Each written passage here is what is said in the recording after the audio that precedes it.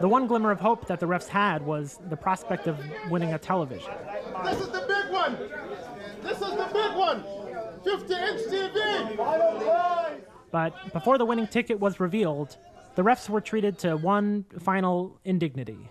Hold on, hold on. All right, Mo. Before we raffle this, make sure all the garbage is off in the garbage can. Let's do that now before we raffle it, because then you guys are gonna run out of here and everybody else cleans.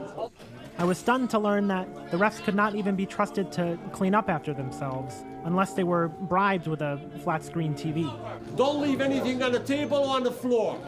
We're not here to clean up. Please. After the room was deemed clean enough and the winner was finally announced, Five, nine, four.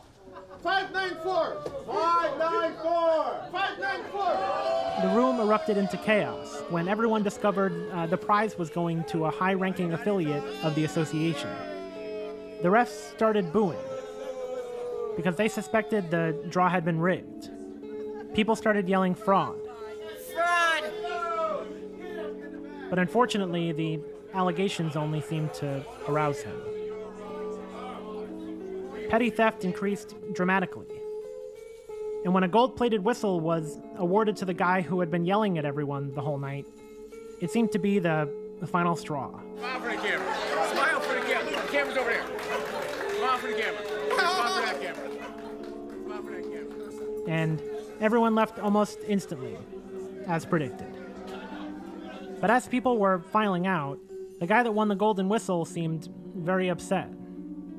It appeared that his golden whistle was actually stolen straight uh, f- from the display case.